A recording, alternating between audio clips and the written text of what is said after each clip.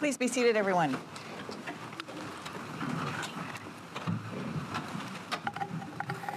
Happy Friday, ladies and gentlemen of the jury.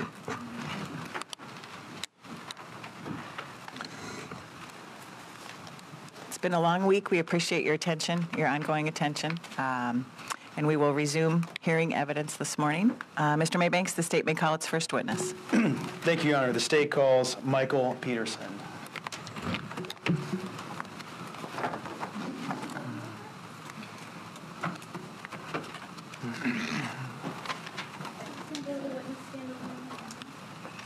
Good morning, sir. You're headed over to this chair with the red seat. And before you take that seat, please pause and raise your right hand. Do you swear or affirm the testimony you're about to give will be the truth, the whole truth, and nothing but the truth? I do. Go ahead and be seated. Mind the step.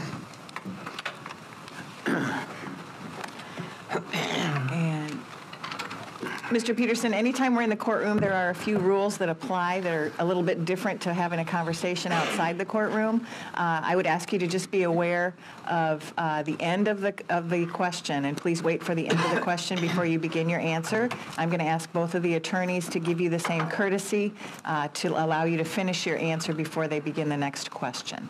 All right? Please tell us your full name and spell your first and last names for the record. My name is Michael Peterson, M-I-C-H-A-E-L, P-E-T-E-R-S-O-N. Thank you, sir. You may conduct your examination. Uh, Mr. Maybanks. Okay. Good morning, Mr. Peterson. And uh, you see the microphone there? I think it's on now, so. we'll- Yes. Yep, good. We can hear you great. Uh, My first question for you is how old are you? 72. Okay.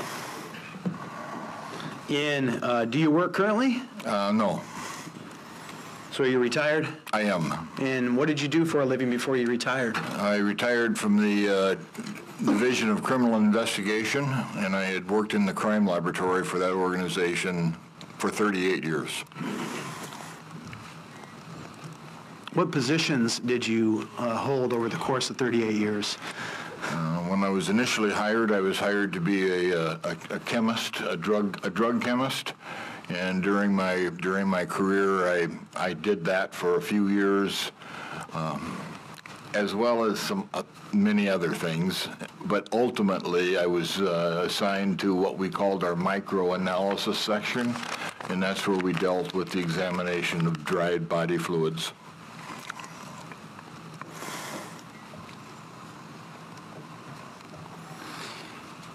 Was your uh, job title referred to as a criminalist while you were there? Uh, When I was first hired, I was hired as a chemist. That title was changed to criminalist and uh, ultimately became a criminalist supervisor.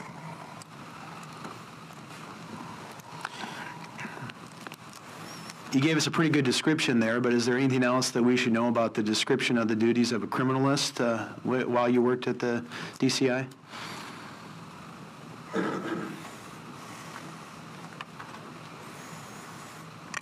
No, I I don't believe so. When did you become a supervisor? I believe 1988. Can you tell us a little bit about your uh, background before joining the laboratory? Yes. Um, I have a bachelor's degree with a major in chemistry. I completed one year of graduate work in chemistry. Um, At the end of that year, I was uh, drafted into the military, and I was assigned to the uh, United States Army Crime Laboratory in Vietnam. Uh, That was my first exposure to law enforcement-related science. And upon discharge in 1972, I was employed by the Iowa Laboratory. And uh, that's where I finished, started and finished that, that career.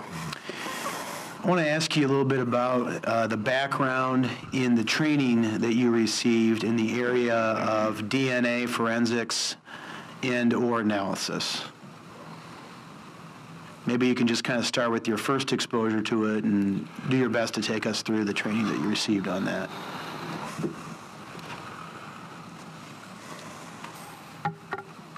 We, we in the crime laboratory first became aware of the potential of DNA in the early 1980s, late 1970s perhaps. the work was being done and reported by laboratories usually outside of this country. They were foreign laboratories, but they were reporting their results, and uh, it looked like it was going to be very promising uh, in terms of the power of the of the technique. But at that time, it had uh, it had issues that it required large quantities of sample that we frequently did not have the techniques were, uh, were, were grabbed onto by the uh, FBI and some other laboratories and developed and modified and improved to the point where they did become, in about 1980, uh, 1987, something like that, they did become applicable for crime laboratory type work. And uh, the FBI then started training laboratory examiners across the country in the, in the methods and techniques that, the, that they had developed. Um, at, at, at a similar time, there was a new DNA method coming online called, or, or utilizing a procedure called PCR, the polymerase chain reaction. Uh, it was, in essence, totally different from what had been developed and was being developed at that point. But looking to the future, it appeared to be a far more useful technique for the crime laboratories. Uh, in our laboratory, we chose to wait until PCR methods were, were, were readily available uh, to bring DNA online, which, which we did in, uh, in um, 19, late 1980s with, uh, with some commercial products that were, that became available based upon the PCR reaction. Those, rea- those products were very useful and very sensitive and did amazing work on, pe- on pieces of evidence that we looked at, but they did not provide um, the power of discrimination that we hoped DNA would provide, and the ability to tell the differences between individuals. Um, but uh, working in the background were new methods and new things that were being brought on all the time, and adding new new targets on the DNA molecule that provided more information, and uh, so we we just incorporated them into our our um, tools of analysis, as well as the FBI did as well, to the point where they established their their database based upon uh, the PCR and, and a variety of, of, of targets that, that were looked at. Thanks for that rundown. Um, Did you receive all of the uh, uh, necessary training in the uh, PCR method once it uh, became available to your laboratory? Yes. Do you remember any, uh, specifically any trainings that you um, attended um, of note? No, the first training that I attended was uh, was at the FBI, and that was in the in the prior methods. Um, but many of the uh, of the examination tools to prepare a sample for the prior methods were the same as what we use for the PCR methods. Um, PCR training took place for me uh, at, at, a number of seminars, and uh, and the manufacturer of the products that we use also provided training within our laboratory as to uh, as to the application of their of their product. And eventually, through the course of this training, did you become proficient in being able to use the uh, methods that were taught to you in regards to the PCR method? Uh, yes. um, and I want to take you to, um, well, first I'll ask you, uh, by the year 1997, uh, were you performing uh, DNA analysis for a variety of criminal investigations? Um, our laboratory was. Um, I personally was involved in the supervision phases, so was not personally doing a lot of DNA work in 1997. Were there cases where you did uh, get involved in the work? Yes.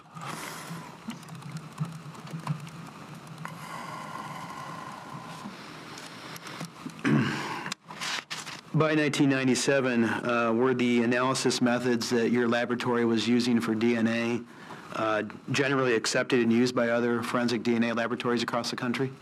Yes, they were.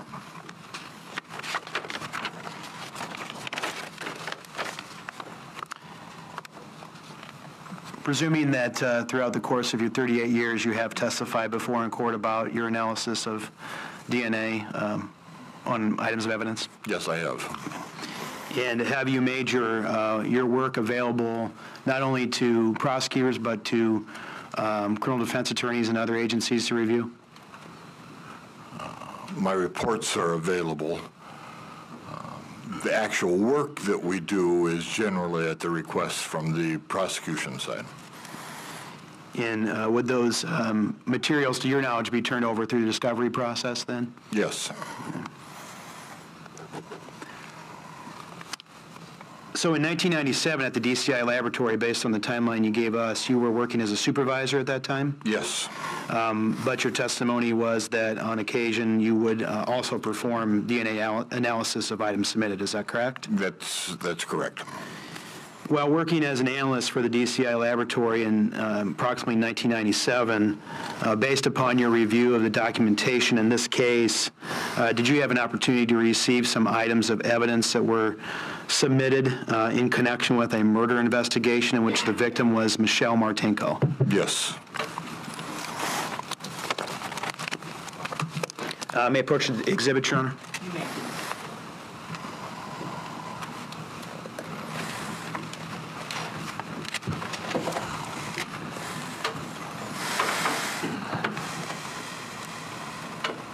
Handing the witness what's been previously marked as State's Exhibit 17E. And um, Mr. Peterson, do you recall being shown that document? I think it was yesterday or maybe before yesterday. Um, in this case? Yes, I do. And is this a form that's uh, typically used for chain of custody purposes, chain of evidence purposes, when items are submitted to the laboratory? Yes, it is. And does this indicate then, um, on or about the date on the top of uh, January 3rd of 1997, that several items were uh, submitted in this case? Yes, it does. And uh, does that include items, uh, uh, first marked item F? You see that? Yes. And what is item F described as in that document? Item F is described as a sealed package containing the victim's dress, pantyhose, and panties. And uh, on that same list are items G, H, I, J, and K. Do you see that? Correct. I want to direct your attention to item, item I. Can you describe what the laboratory received in regards to a description for item I? Um, Item I was a sealed envelope containing blood from the shift selector. Does that indicate to you that uh, those items were submitted to the DCI crime lab through the normal chain of custody procedures? Yes, it does. Thank you.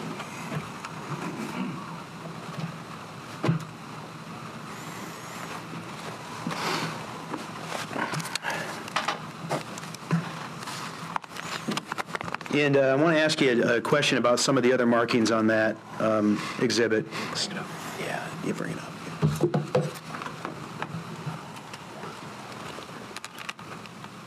It's going to come up. It's going to come behind you, Mr. Peterson, in a moment here.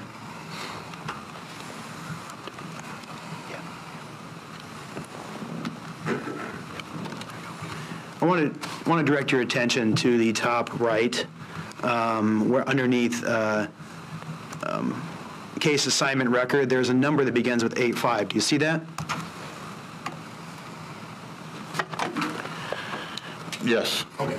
And uh, is that, is that a number that's assigned by the DCI to uh, items that receive, they receive in connection with a, a case?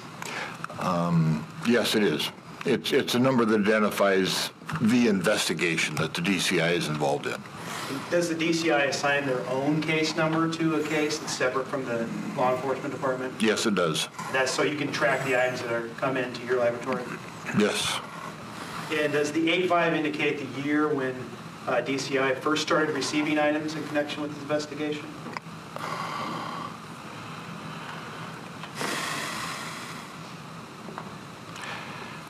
I, I think it would establish the year that the DCI first became involved in the case. They may not have received items then. Okay, that's, thank you for clarifying that. Um, And um, can you tell us, if we could scroll down a little bit here? We talked about items F and I and how they're designated. How, how does the laboratory assign those letter designations as items come in? Uh, The first item that comes in is assigned letter A, and each item after that is just incrementing through the alphabet. Once you get to item Z, then you double up, and you go to item AA, and then AB. And does this indicate then on the date of this, um, of this document then that, um, as we mentioned before, the dress and the blood were assigned um, designations F and I respectively? Yes, it does.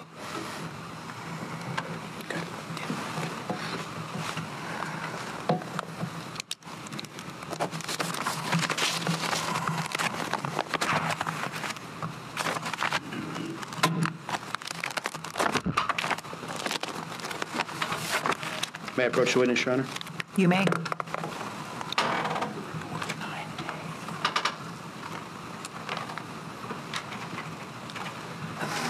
Handing the witness what's been marked as a three-page document with State's Exhibit 9A on it. And I'll ask Mr. Peterson if you recognize this document. Yes, I do. What, what type of document is this, if you could describe the type of document? Uh, This is um, the actual report that was prepared that, uh, that uh, relays the results of uh, the examinations that were performed to the submitting agency. And based upon your review of this document, was this report made at or near the time you conducted testing on items F and I, among others?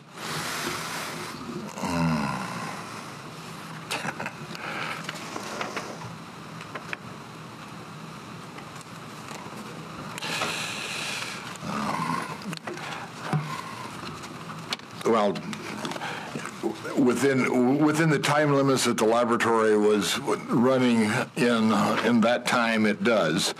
Uh, I initially started looking at samples in February of, of uh, 1997. This report is dated March of 1997.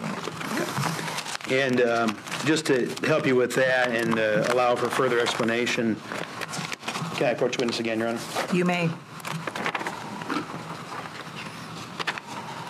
The witness what's been marked as a two-page document uh, with the label 17G on it. Mr. Peterson, you see that? Yes. And uh, can you tell us what that item is? Yes, this is uh, a copy of the notes that I prepared while I was examining um, items F and uh, through K, the items that were on that first receipt form.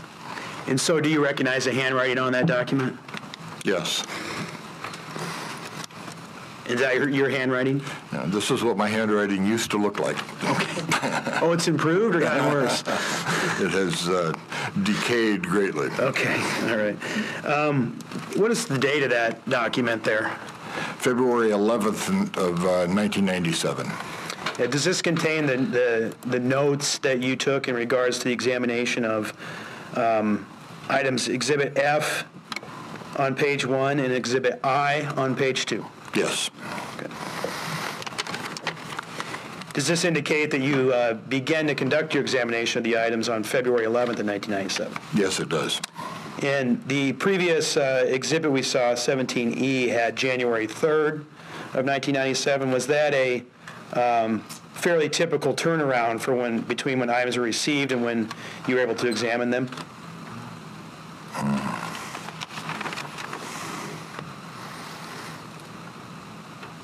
Yes, that was, I, to my recollection, that was typical. And did the laboratory take measures to make sure that after items were received, they were kept in a properly preserved condition uh, to protect the integrity of the items before you had a chance to examine them? Yes. Is this a record of notes you compiled then while you analyzed the items? Yes. And are these uh, records that are kept in the regular course of business at DCI? Yes. And obviously, um, does this indicate that those records are often retained at the DCI? Yes. Okay. Uh, Move to admit State 17G, Your Honor. Mr. Spies, do you have any objection to 17G? No objection, Your Honor. Thank you. 17G will be received and made part of the record. If you have room up there, Mr. Peterson, you can just kind of keep it up there if you want for now. Um, Go back to 9A for a second. I think that's still in front of you. Thank you. Um, And I was asking you some questions about 9A. Uh, Is 9A also a record that's kept in the regular course of business activity at the DCI? Yes, it is. And uh, after looking at 9A, is that a fair and accurate copy of your report that you compiled as a result of your examination that was sent to the uh, law enforcement department? Yes, it is. Move to admit 9, move to admit 9A, Your Honor. Any objection, Mr. Spies? Uh, May I question the witness briefly, Your Honor? You may. Good morning, Mr. Peterson. Mr. Peterson, does Exhibit 9A contain the conclusions that you reached in your examination of the items uh, that were submitted to you in 1997?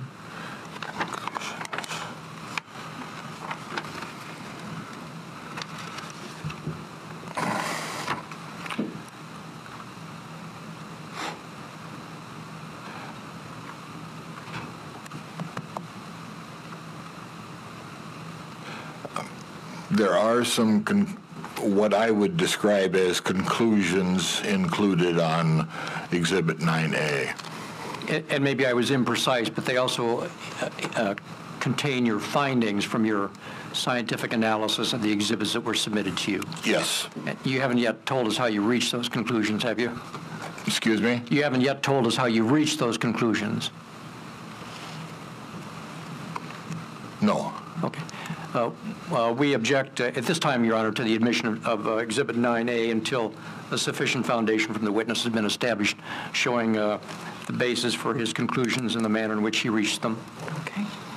If you'd like to ask the witness a few more questions, Mr. Maybe. Yes, Your Honor. Um, Does this uh, report 9A then contain an explanation of the findings that you um, uh, came to as a result of your analysis? Yes, it does. You can go ahead and keep that in, in front of you if you would. Um, You can put it down for now you have 17G in front of you, so if you need to uh, look at that, uh, let us know. But my next question is, can you tell us about um, the examination uh, of these items, starting with item F, as to um, how you conducted the examination of item F, to your recollection from those notes?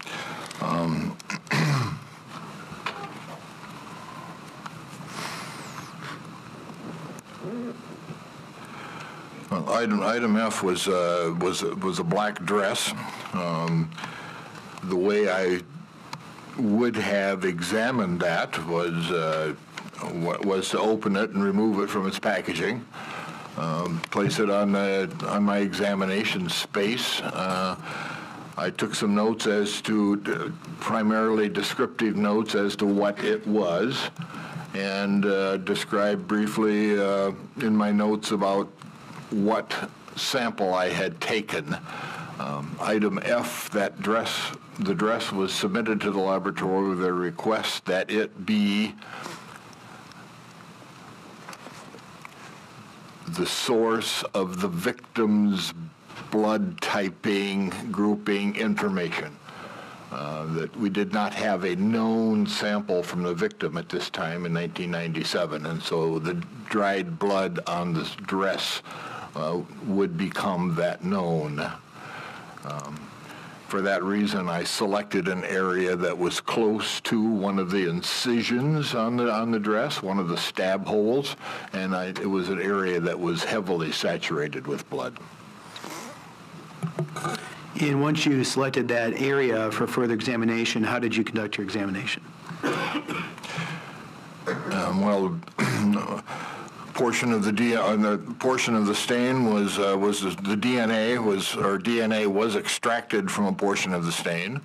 Um, A brief assessment of how much DNA present in that extract was made. That's a, a step called quantitation.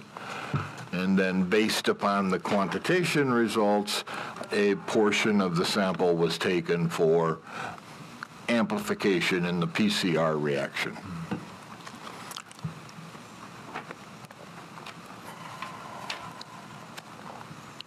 In 1997, uh, how was that uh, testing performed for the amplification? In 1997, we were using a, uh, a commercial DNA product called Polymarker. It was a, um, um, it was, it was several DNA targets, the reagents necessary to target several DNA locations were included in one reaction mixture so that we could we could take a portion of the DNA we had isolated, we could mix it with the, with the polymarker product, we could perform the amplification and then examine the amplified results and it would give us blood typing in several different DNA um, categories.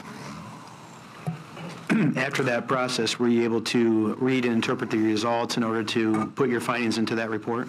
Uh, yes, And does that uh, report then contain those findings from that process? it does. Move again to admits uh, 9A, Your Honor. Any objection, Mr. Spies? Just briefly, Your Honor, if I may. You may. Uh, Mr. Peterson, does uh, your report also contain your findings with respect to item I? It does. All right. And uh, you've not yet told us about how you obtained the uh, findings for item I, have you? Uh, no, what, Subject to that uh, objection, Your Honor, we would um, reserve our objection until it's been offered as concerning item I.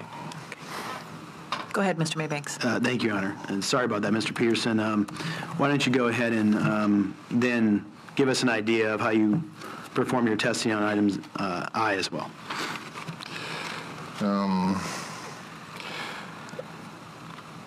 Item I was a sample of, of uh, staining that was found on the gear shift lever.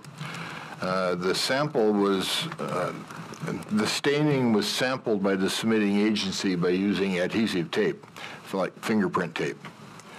I didn't actually see the gear shift lever. I saw the tape lift that. Um, The examination process was similar to that on the dress, other than that I didn't have the gear shift lever. I- Just a portion of the stain that was uh, on the tape was, was uh, sampled, DNA isolated, and the same process applied to it that was uh, to everything else. And as a result of that? As a result of that process, then you were able to um, compile your uh, findings and conclusions in the report? Yes. Move again, Your Honor, to admit states 9A. Without objection. The court will receive States 9A and make it part of today's record.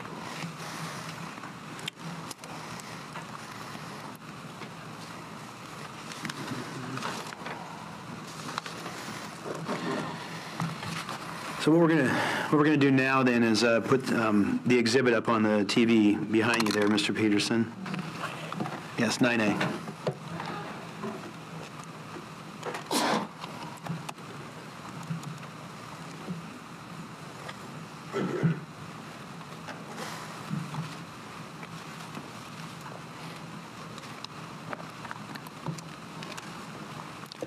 So this is page one here, and uh, uh, with the uh, indicators that we've previously discussed in terms of laboratory case number, I don't think we've mentioned uh, here, but uh, this, was this report then completed on March 14th in 1997?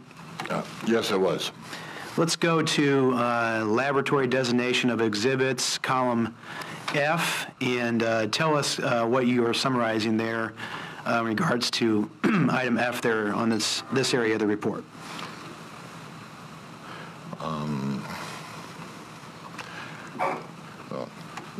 This portion of the report, in essence, merely says that I, that I did the examination that was requested on item F. And, and the results of that examination are included elsewhere on the report. Thank you, yes. And if we could scroll down then to uh, where I is.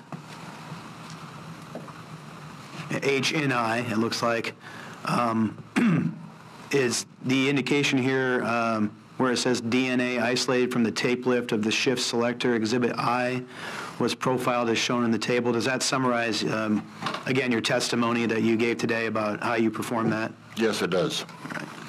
Let's go down to the table now and um, look at the results here. Item F first, uh, again, described as a victim's dress. Can you tell us uh, what those uh, results uh, indicate? Yes. Okay. You need to use the pointer next to you, you can here too. Yeah.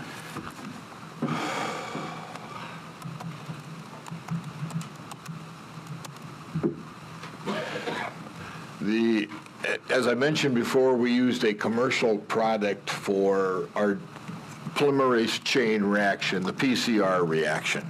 The, the targeted sites on the DNA that the polymerase, that particular product includes are these located up here. These are, these are shorthand names for them. LDLR stands for low-density lipoprotein receptor. Uh, GYPA is glycophorin A. Um, In the DNA arena, when you see something like this, D7S8, the D means that it's a DNA uh, thing. Seven is which chromosome that it is on. And uh, S means that that's the only place it is found. S means single. And uh, eight is just a, the numerical sequence in, at which that particular location was discovered. Um, DQ alpha and D1S80. Uh, D1S80 is actually a separate examination. It's not included in the commercial kit that we that we applied, but was another kit that we would that we would use. Um, now, on each of these loci, which is kind of the term used to describe them generally, an individual will have the potential of two different kinds of DNA. One that they inherit from their mother, one they inherit from their father. Uh, many times they inherit the same kind from each parent. And in that case, they are termed to be uh, homozygous. Uh, sometimes they inherit different kinds from the parent, and then they're called heterozygous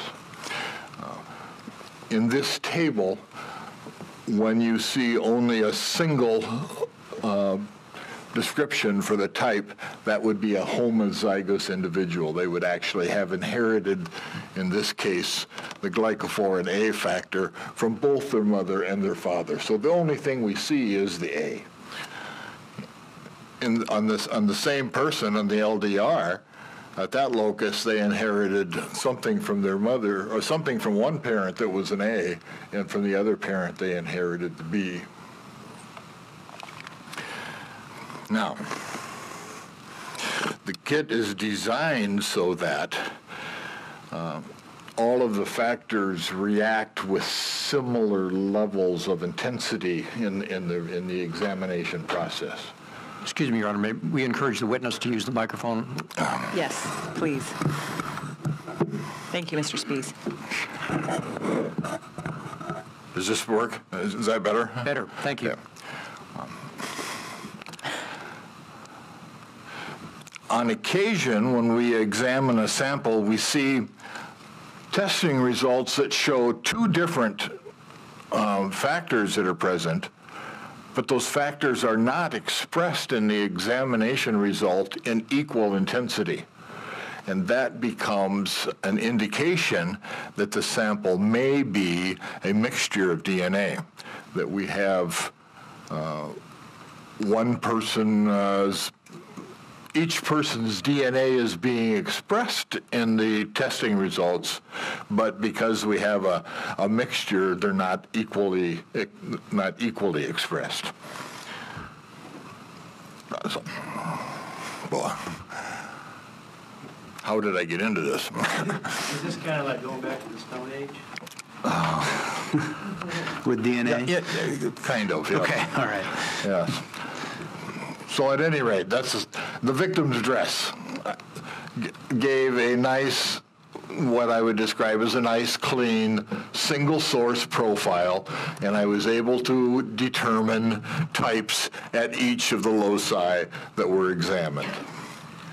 Uh, the shift selector, item I, uh, If you would only look at the LDLR, LDLR loci, it would, it would look like it would, was a, was a type AB, but the other loci show imbalances and uh, indicate that there's another blood sample mixed with that one, or another DNA source mixed with that, uh, with that sample.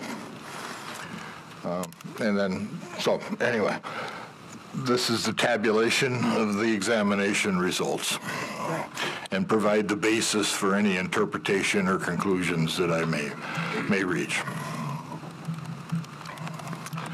I want to ask you a couple questions about some of your terminology here, which folks might, might know, but um, we just bring the level down to a basic description here.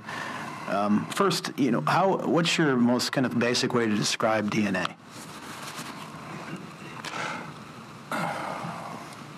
That's supposed to be an easy one. Most people think of DNA as being the blueprint for all of the life processes that go on in, in a living organization, organism. Um, it provides the instructions to build the molecules that are necessary to sustain life.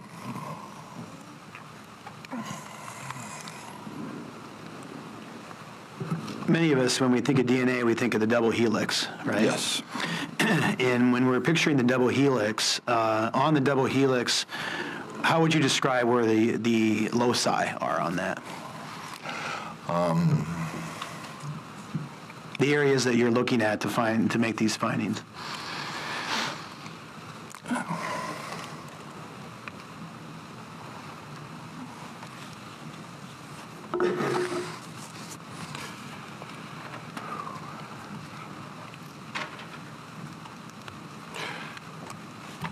The,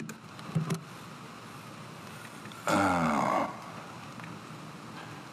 I- I- I'm, Attempting to really, to simplify this probably over, uh, perhaps thinking of too much.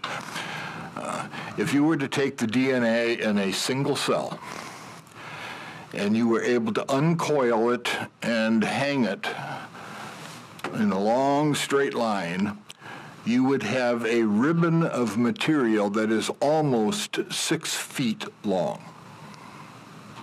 Okay, that, that's hard, hard to imagine, but yet that's what happens in the cell.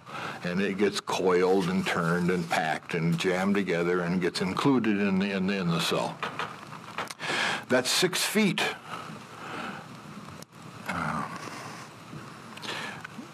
contains approximately 3 billion base pairs.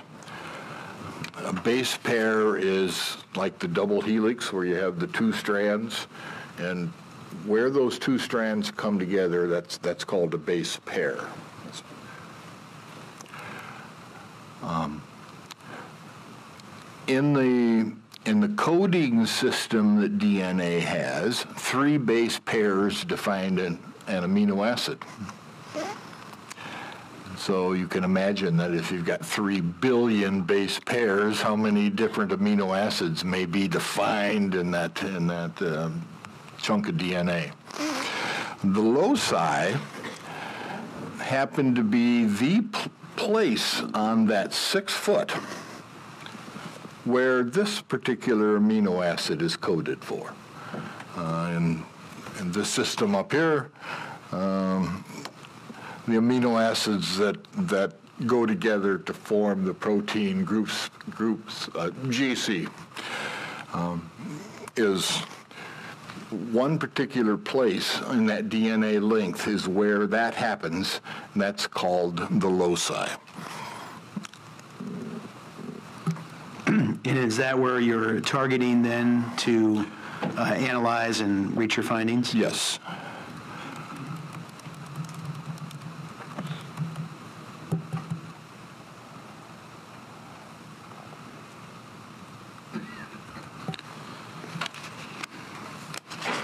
Okay, um, I think we have uh, another page or two, so let's just go to the second page here, so when the jury looks at that, they'll know what you're, uh, what you included. So the explanation section, I think you've given us a pretty good idea of what you were doing there. Is there any other further elaboration that uh, you think would be necessary to help us interpret this?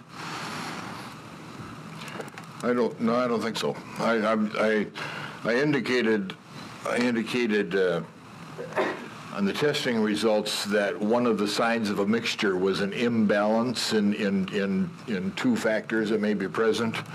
Uh, This particular table does not describe that as being a basis for an admission, a mixture. Instead, it says that uh, it says that the presence of more than two factors is indicative of mixture, and indeed it is.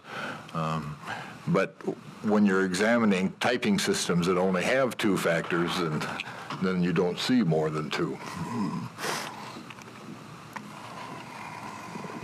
And that's what you were doing here, is only examining the two. Yes. Anything else about this uh, explanation here? It looks like you referenced uh, uh, somebody else by the name of Fred Lewis. I guess we should probably talk about um, that and why Fred Lewis would be involved in this. And I'm, I'm not sure that I know the answer totally, but I believe that during the investigation of, of uh, this death, um, there were some similarities to another uh, case that had happened in, uh, in the state uh, that involved a Mr. Fred Lewis. Uh, even though it came from a different police agency, uh, the- our laboratory did have a sample from Mr. Lewis, and uh, we were asked to compare our typing results against his profile, and, uh, and we did do that. And this indicates that uh, he was, at least uh, during the- this analysis, uh, that no, there's no indication of his DNA being present. That's correct.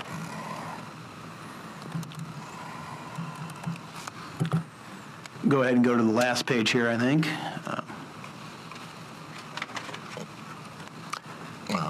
What's this?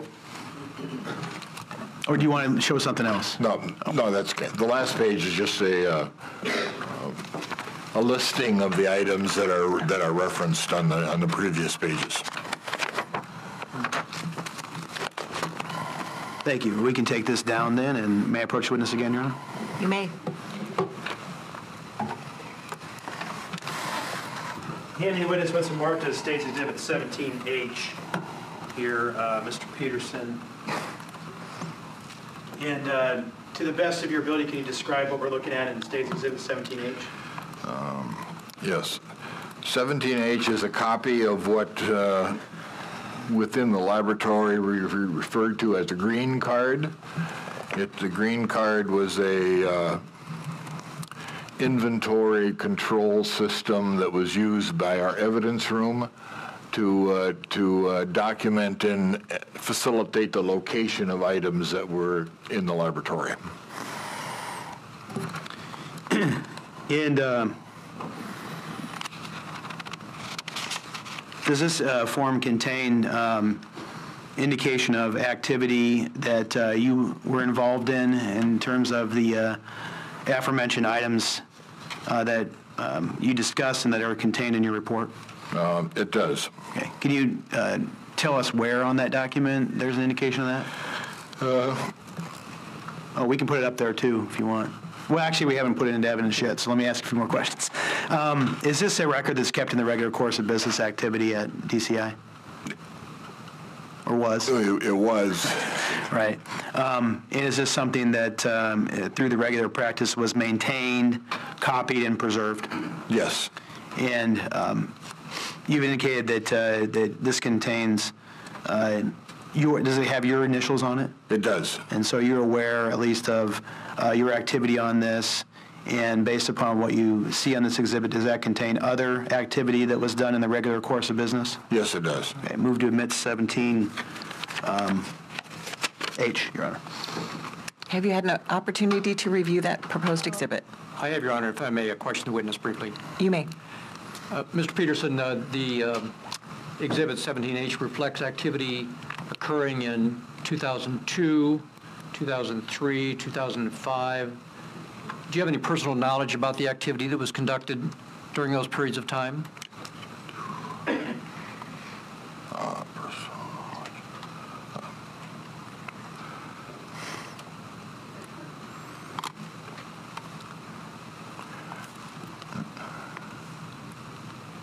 I have some knowledge about activity that was conducted during that period of time, but uh, I was not involved in that activity. This uh, document 17H uh, purports to reflect when items were received by the Division of Criminal Investigations Laboratory and when they were apparently checked out, and you don't have any personal knowledge about that information, do you? Now, By personal knowledge, do you mean was I involved in the check-in process?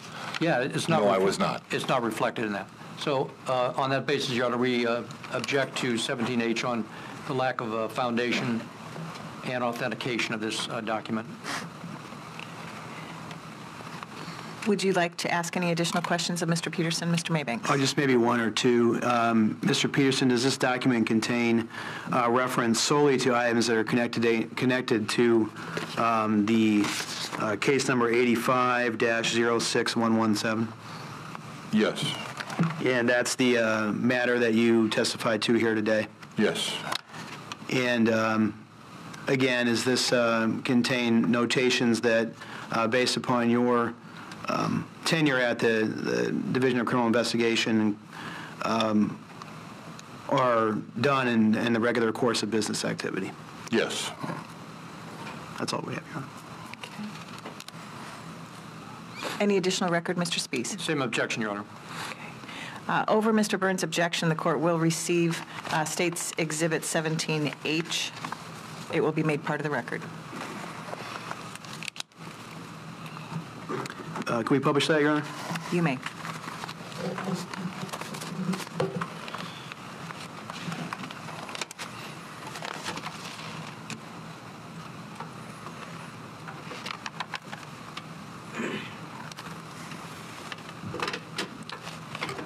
And we're going to scroll down just a little bit here, um, and if you could give a- us and the jury an indication of your, your uh, activity, your initials uh, on this document. Yes. Uh, My initials are the MJP initials. Uh, They occur on, uh, let me briefly describe the document at first. Okay, The the top half of the document is completed by the evidence room when evidence is submitted to the laboratory. The the bottom half of the document is, com- is, uh, is completed by examiners within the laboratory when they either check evidence into or check evidence out of the evidence room.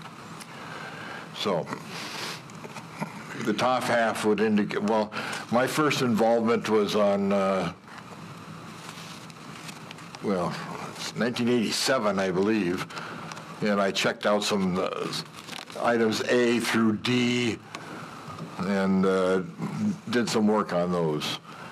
1997 is when I checked out items F through K, uh, F being the dress and the gear, and in- including the gear shift samples and some other samples. And then I checked them back into the evidence room on March 30th, uh, February 11th in this case. These little notes on the side just say where the evidence is. Uh, Down over here, it says that the evidence, items F through K were returned by first-class mail on October 10th of 97. And would that be returned to the law enforcement department, in this case, the Cedar Rapids Police Department? Yes, Just to, um, to note then, our, based upon procedure and protocol at the Division of Criminal Investigations, uh, was proper care taken to ensure the integrity of items when they were um, placed in the mail? yes, Sealed and packaged, things like that to? Yes. Okay. And all efforts made to prevent any kind of uh, alteration, substitution, or tampering? yes, One more question, since we have this up here. On that top portion you referred to, Um, And we already have a document that has 1397 uh, indicating uh, when items were submitted. Um, On 11397, there's a signature for Den- Dennis Murphy. Um, And then evidence tech, tech, uh, yes, thank you, um, initials for items F and I. Does that indicate that that was the first time those items were received in the laboratory? Yes, that's the way I would interpret it. Okay.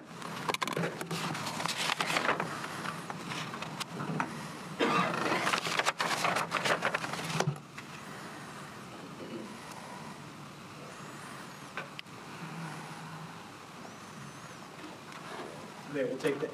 Go ahead and take that down. Um, And Your Your Honor, may I um, briefly get out the, I think it's 7A here?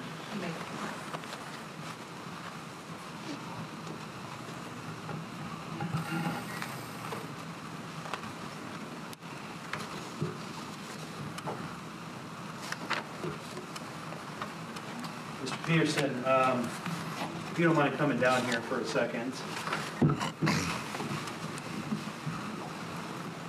This is a, a item 7A that's been previously described as the dress that Michelle was wearing on the night in question, the same dress reflected in the exhibits. Uh, Towards the top um, area here, uh, the sort of right top, there's an indication. um, See that? Yes. Okay. And um, when you, when you conducted your analysis, did you remember what area the dress is that you looked at? Okay, sure.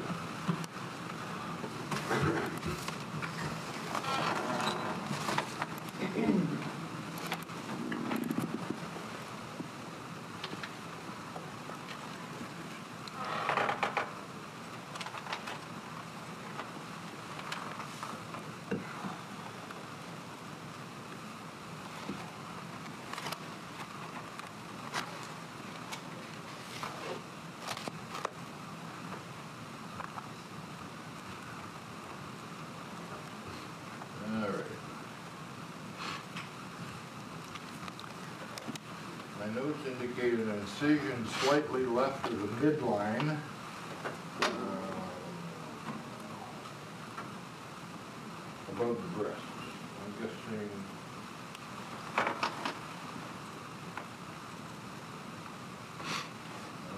Above the breast. I'm having a hard time hearing. Some- Someplace in there. This, this, there appears to be a missing piece of fabric right here, so I'm assuming this is where, where I took my sample. Okay. Right, and um, yeah, there's also a marking here that has a Q9 on it. Uh, We had some testimony yesterday about uh, the dress being examined uh, by uh, another laboratory, the FBI laboratory. Is that, that- is that not a marking from the DCI? That, that's not one that I recognize. Does that indicate then um, that um, another laboratory did uh, the examination of it? I mean, or wasn't your I, lab? I, it could, I don't know. All right, and um, I know you probably don't have an exact memory of it, but um, any reason to believe, based upon looking at this now, that um, this dress has been um, tampered, altered, or substituted in any way, based on your look of it, other than the other examinations done on it?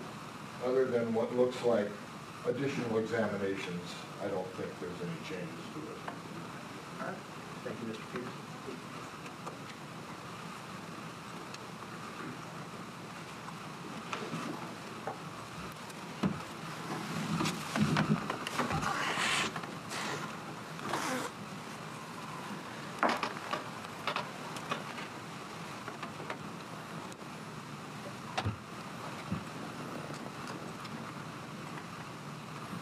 And just to clarify, uh, Mr. Peterson, um, when you talk about there being a mixture on the um, gear shift selector, based upon your findings and results and the standards uh, you were using in 1997, does that indicate the presence of another individual?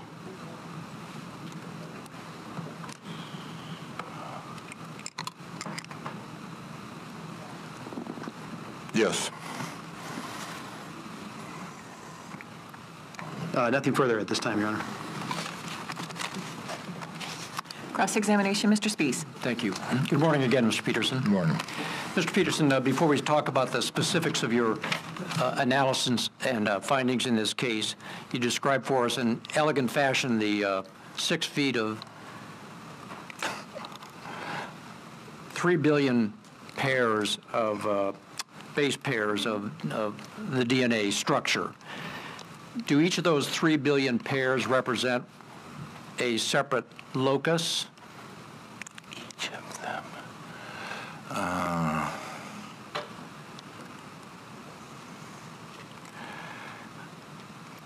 Well, They could, but in fact, they do not. The loc- the locus will be a grouping of base pairs that, that code for something that we, that we're aware of, something we know, and then where it, where it is on that, on the length of that chain. So uh, asking you differently, how many loci are there in that chain?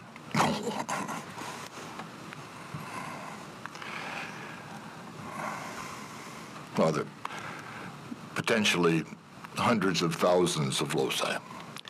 And uh, among those hundreds of thousands of loci, how many do- do all of us sh- share in common?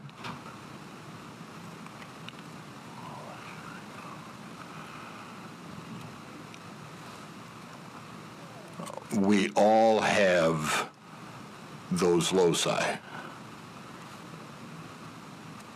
The, the individual details of what's coded for within the loci may vary among, and does vary among individuals, but we all have the, lo, the loci.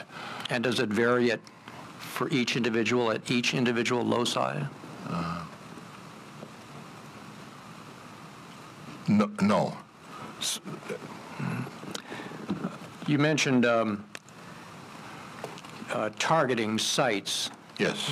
And uh, tell me, or tell us again, how many targeted sites you identified or targeted in your analysis in these cases? If, if we include the D1S 80 locus, which I examined on some samples, but not all of them, uh, that would be seven, seven sites were targeted. And um, maybe this is the same question asked differently, but how many potential targeted sites are there in DNA analysis? Yeah, I think, I think I said perhaps hundreds of thousands. Okay. So uh, each of those uh, loci are a potential target site in a DNA analysis. Each of the loci are potential target sites.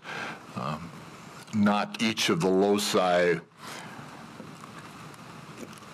would be useful to examine.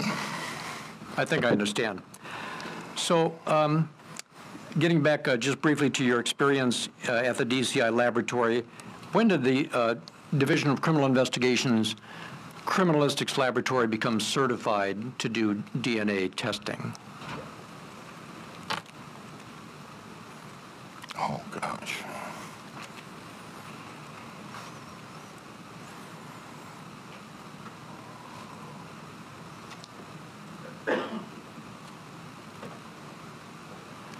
I, I don't remember those, that date. Okay. Uh, The certification process is something that was developing about the same time that we were developing our DNA methods. And uh,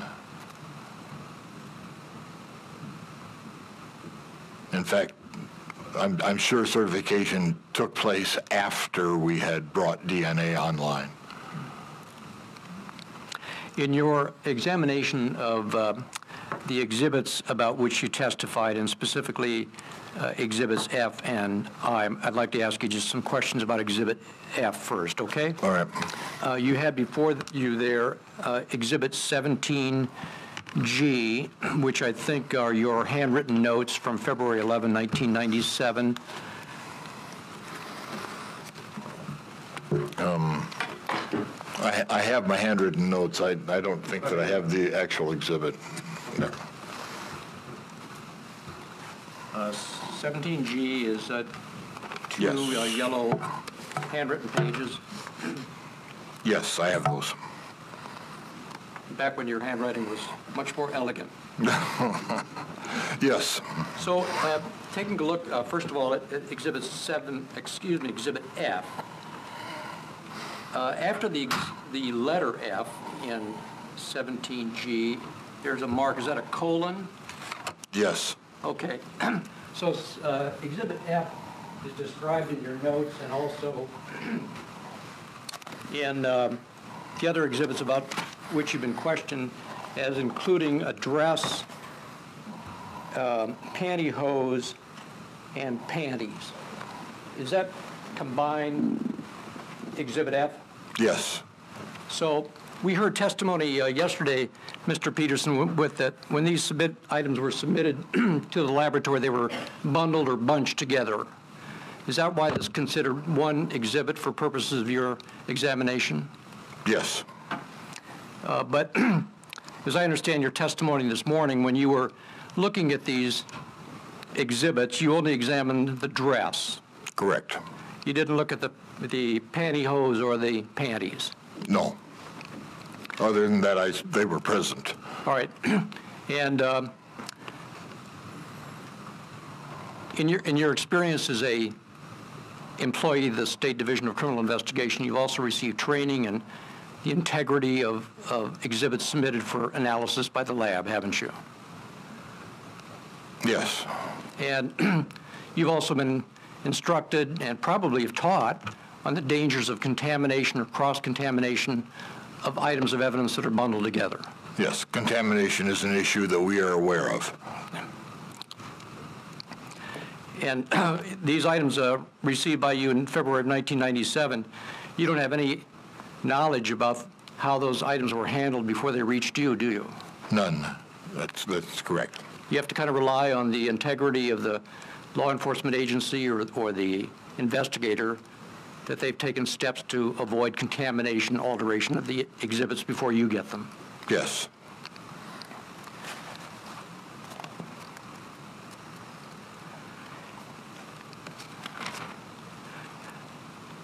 Again, uh, uh, turning to Exhibit F, uh, or at least that portion of Exhibit F that you examined, the dress, in your notes uh, that you have before you, Exhibit 17G, in describing uh, the dress, at the bottom of- of 17G, you say, um, "All items show presence of white rabbit hair."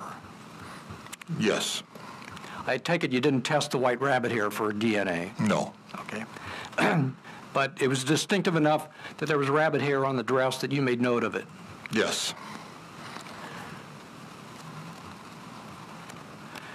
In um, your further analysis of uh, Exhibit F, you um, spoke, I think selected one site that you said was heavily saturated with blood. Is that right? yes, Okay.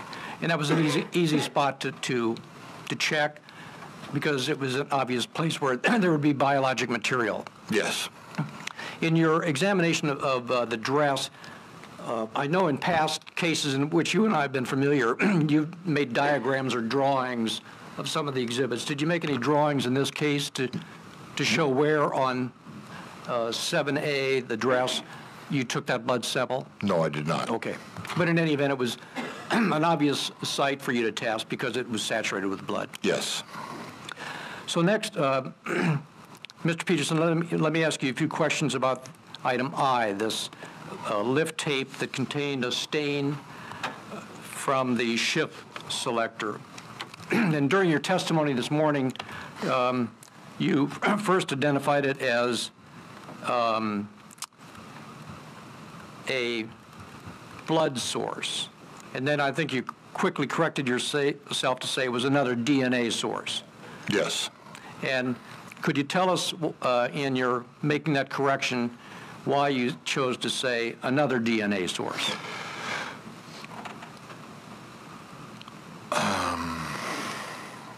Well, the, the only thing that I can safely say, the only biological fluid that I feel confident in saying was present would be some blood crusts that were on the on the tape lift or blood film. Um, there could be saliva or even uh, skin cells or something associated with that that I cannot identify, and they could be contributing their DNA to my testing results. So uh, stated differently, the, the mixture about which you testified uh, that you located on Exhibit I could have been a mixture from uh, body fluids other than blood? In addition to blood. Yes. Yes, We just don't know. correct.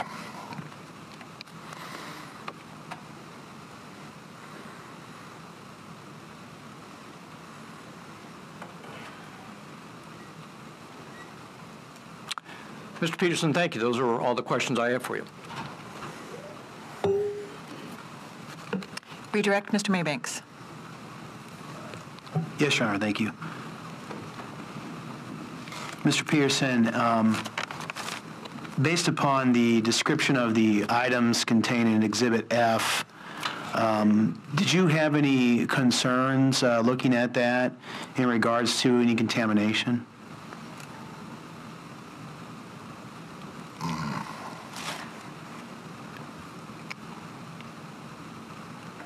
No. And to follow up on that, uh, is it out of, out of ordinary in your uh, custom or practice and procedure to see items, uh, for example, of clothing submitted from the same individual together?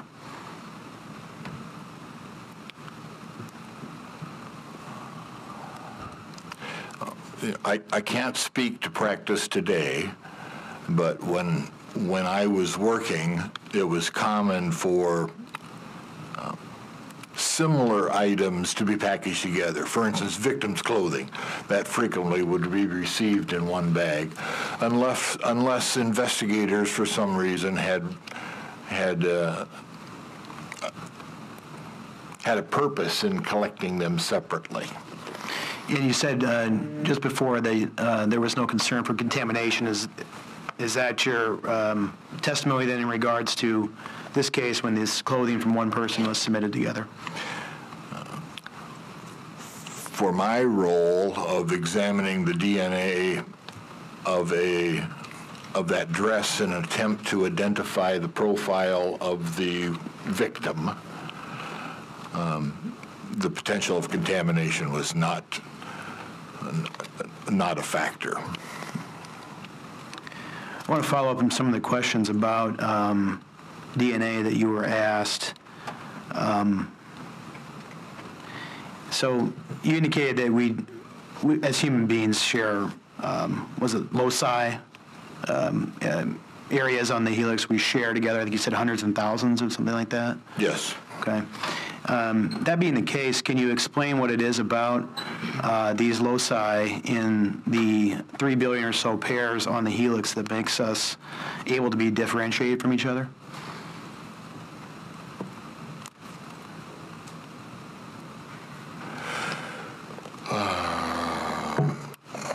Try.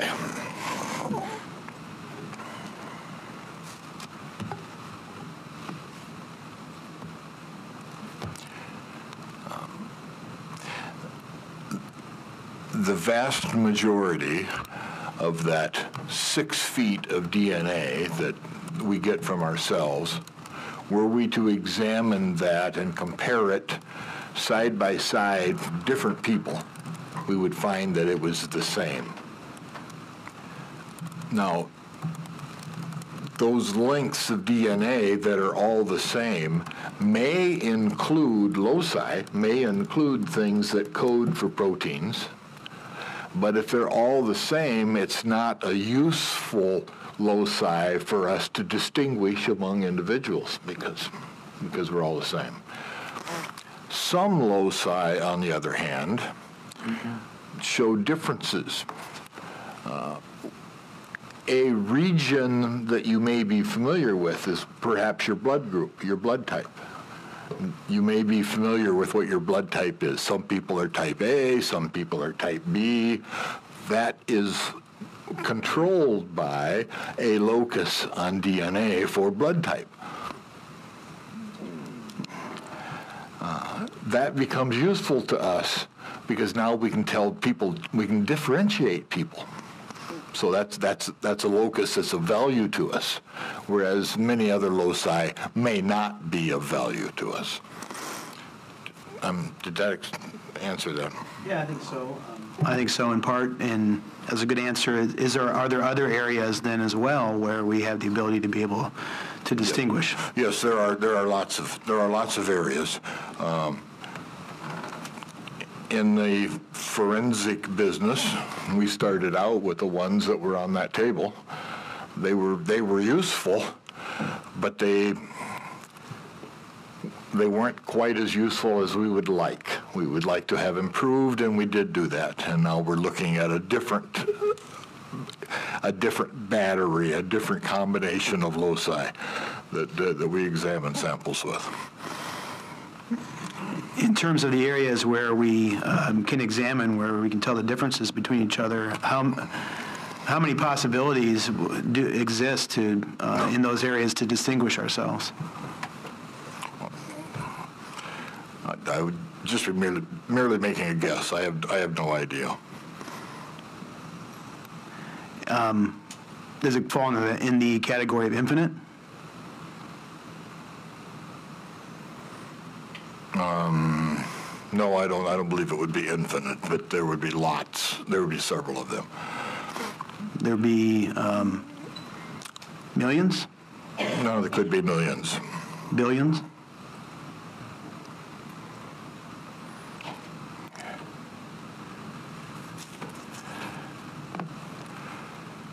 No, I I doubt that there's billions.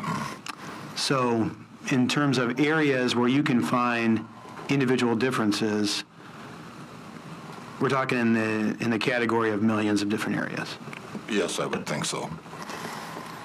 And do each of those areas potentially contain different information that distinguish us from each other? Yes. Nothing further, Your Honor. Additional cross-examination, Mr. Spies. Yes, briefly. Um, Mr. Peterson, I I had um, understood you to say that if you were just, maybe I'm paraphrasing you inaccurately, but uh, in response to a question from the government's counsel, you said that contamination was not a factor, or would not be a factor in a situation where you're just looking for one, in this case, profile of the victim. Am I paraphrasing you accurately?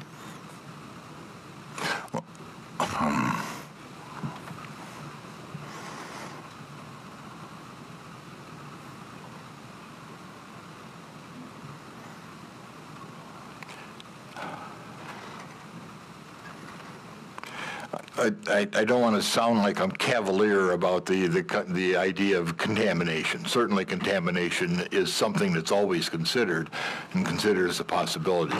I would say that for my examination of this particular item, I have no indications of there being a contamination issue. You can't say that there wasn't, though, can you? No, I can't, can't can't say that there was not.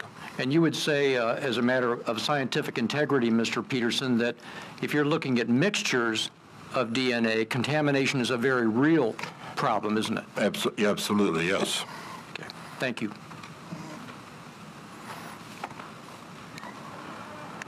Additional redirect, Mr. Maybanks.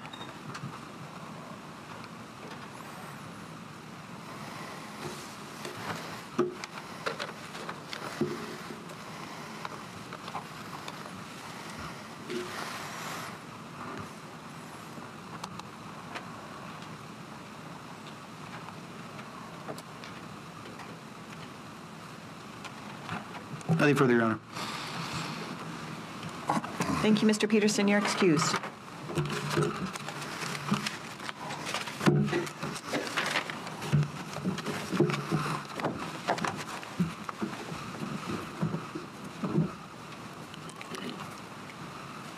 And counsel, can we ma- make sure that Mr. Peterson didn't inadvertently take any exhibits? He did, I have one here. I'm- okay. Just want to make sure we, before he leaves the building, we've got everything we need. I think he had his own paperwork, so.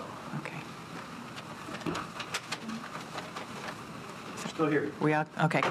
Thank you, Mr. Maybanks.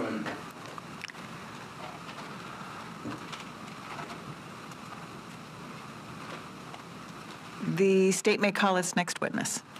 State calls Dean Chiafos.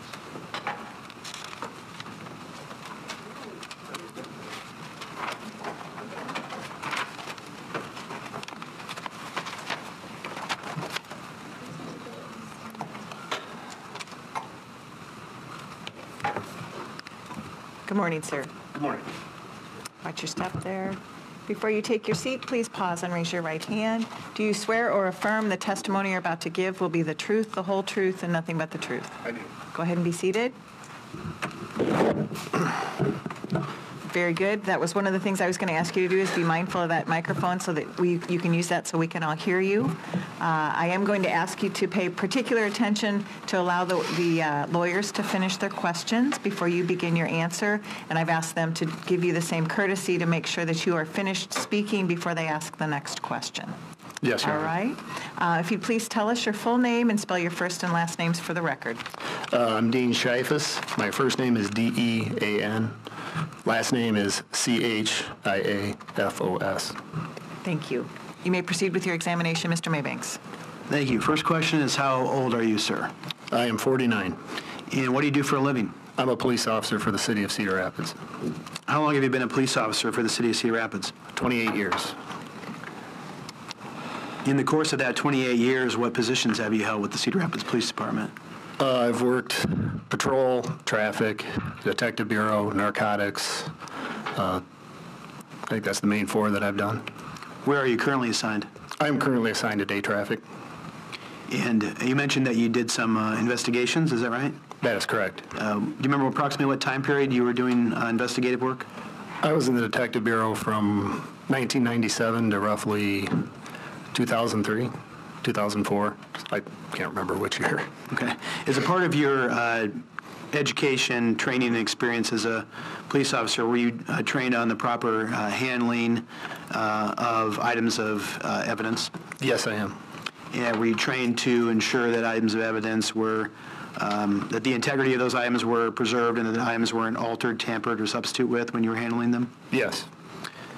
Do you have occasion, uh, based upon your review of documentation in this case, to have been, in- com- become involved in the um, delivery of items of evidence to the DCI laboratory?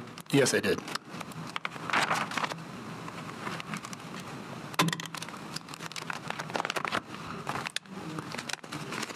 May I approach witness, Your Honor? You may. Any witness what's been marked as State's Exhibit 17I uh, for identification purposes. Officer Chiafos, uh, can you take a look at that exhibit for us? Yes. Is that something that you saw, that you've seen prior to today's date? Yes, it is. And is that an exhibit um, that, based upon your training experience with the Cedar Rapids Police Department, is, is kept in the regular course of business activity, both with the department and the DCI lab? Yes, it is.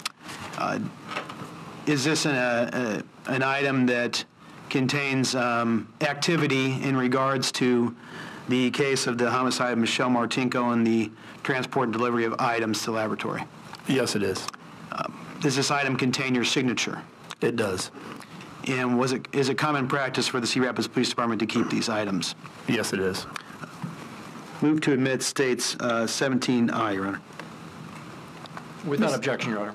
17I will be received and made part of the record. We'll go ahead and publish that if we could, Your Honor. You may. Thank you.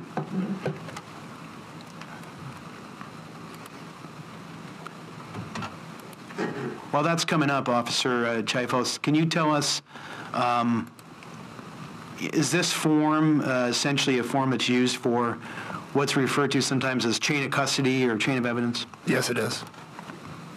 And is that the role that you played um, basically in this case, is the chain of custody, delivery of evidence, those type of things? Yes, it is. All right. This uh, form, can you tell us what date, first of all, is indicated here? I believe it's uh, February 15th of 2002. And we see a, um, a case number beginning with 85. Is your understanding that's the DCI case number? That is one of theirs, yes. Indication here about the offense involved being a homicide, Westdale Mall, those type of things. Do you see that? I do. Is it your understanding that's a summary of the um, pertinent facts for purposes of this uh, form uh, regarding the, uh, at that time, cold case homicide of Michelle Martinko? Yes. And tracking down on the form a little bit uh, farther here, um, is that your signature then that appears in the left middle of the document? Yes. And then your printed name as well? Yes, it is. Uh, Tracking down a little bit farther here now, even from that, uh, there's a description of uh, evidence in laboratory designation. Do you see that? Yep. And does that include items uh, des- designated by the laboratory as F and I, among others? Yes, it does. And indicated there uh, is some handwriting on it. Um, Would you be able to tell us, um, to the best of your ability, what that says? For F first. Uh, For F, it would be resubmitted paper package. And what's the description of item F there? The description of the item submitted would be victim's dress, pantyhose, and panties. And uh, under I, what does the uh, handwritten notes there say? Submitted sealed envelope, Is that um, submitted or resubmitted? uh, resubmitted, I'm sorry. I That's okay, thank that. you. And my question about that then, is that indicate that these items had been previously submitted and are now being resubmitted? That is correct. Okay. And the description of item I then is indicated as what? Blood from the shift selector. The, um, on a table there, there are uh, designations under agency designation. Do you see that? Yes. Are those, is that the designation that Cedar Rapids Police Department gave to these items? That would be my understanding, yes. Okay. Based upon uh, looking at this uh, document here, does this uh, indicate that on the aforementioned date um, that you delivered um, these items contained herein to the DCI lab for further analysis? Yes. And um, were you working on the Michelle Martinko case at that time? It was assigned to me as a cold case, yes. And do you remember the purpose of resubmitting these documents, or these um, exhibits, excuse me? The main drive to, behind resubmitting them would be that some of the technologies in DNA had advanced significantly from the last time that they were tested, and we wanted to have them retested. And the last testimony we heard was that it was originally submitted uh, to the DCI lab, these items in 1997. So is it your testimony that in that five-year period, there was belief among you and the other officers that um, there had been developments that could shed some more light? That's correct. While you uh, conducted this um, transport and delivery of these items, uh, did you utilize your training and experience to ensure that the integrity of the items were uh, preserved and there was no altering, tampering, or substitution that took place? Yes, I did. That's all I have for this witness, Your Honor. Cross-examination, Mr. Spies. Yes, if I may approach. You may.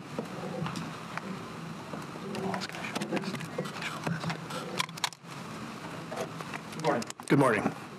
Uh, Sir, I'd like to uh, hand you Defendant's Exhibit A1 and uh, ask you to just acquaint yourself with that.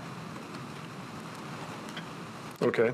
Uh, We've had uh, testimony uh, from a couple of witnesses yesterday about Exhibit A1. Do you recognize A1? I recognize it as a evidence tag from the Cedar Rapids Police Department. Okay. And uh, you just told the men and women of the jury that in February of uh, 2002, you submitted uh, some items to the State Criminalistic Laboratory, including uh, what was designated by the laboratory as Exhibits F and I, shown on uh, Exhibit 17I, right? That is correct. And um, if you look at the bottom of uh, Defendant's Exhibit A1, there is a laboratory, or a Cedar Rapids Police Department receipt from a D. White identifying the presence in that package of panties, pantyhose, and a dress, right? Yes. And also on uh, Defendant's Exhibit A1 shows that it was repackaged in December 31, 1996 by Officer Murphy, right? That is correct, too. Now, um, just above Officer Murphy's repackaged notation is a 21502 date, and beneath that, the letters MM. Do you see those? I do. All right. You know who MM was, don't you? I would assume Michelle Martinko? No. I I think it's uh, Marcia Morton. Oh, that very well could be, yes. Okay. Marcia Morton is a, uh, is an evidence custodian at the DCI laboratory in Des Moines, right? Yes, she was. As a matter of fact, uh, Exhibit 17I, about which you just testified, showed that you turned over these items to Marcia Morton on February 15, 2002. Yes. So what I'm getting at here is when you submitted this package to uh, Marcia Morton at the DCI laboratory on February 15, 2002, you didn't unwrap that package, did you? I did not, no. And as a matter of fact, it had been repackaged in 96 and submitted to the laboratory on February 15, 2002 by you in the same package. Yes. So you didn't know anything about the integrity of the contents of that package, did you? I did not. I did not open it. Thank you, I have no other questions. Redirect Mr. Maybanks. Uh, Briefly, Your Honor, I uh, may approach witness. You may.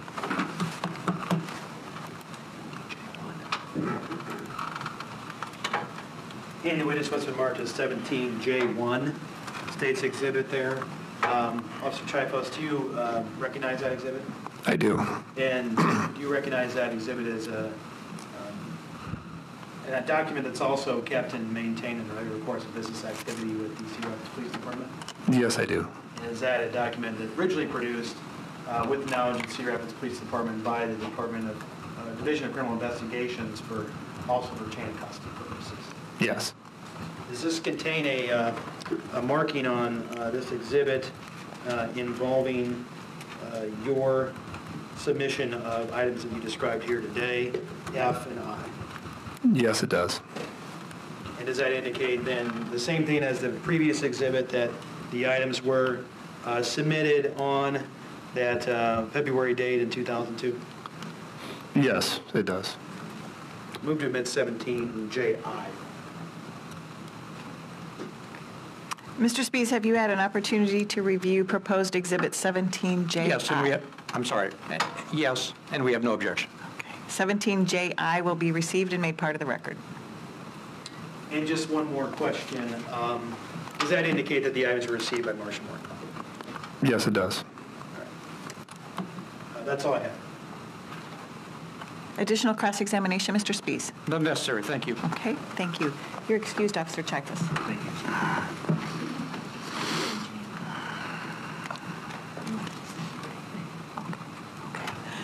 Point of clarification, I believe it's 17J1 rather than I? Oh, I'm sorry. Yeah, that's what I meant to say. Okay, okay. Just, we'll, we'll try to keep our record clean. Um, So the, the court will receive without objection States Exhibit 17J1. Right.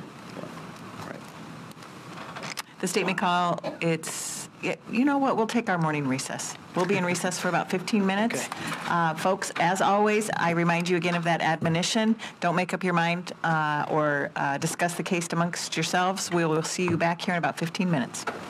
Please rise for the jury. You can leave your notebooks on your chairs.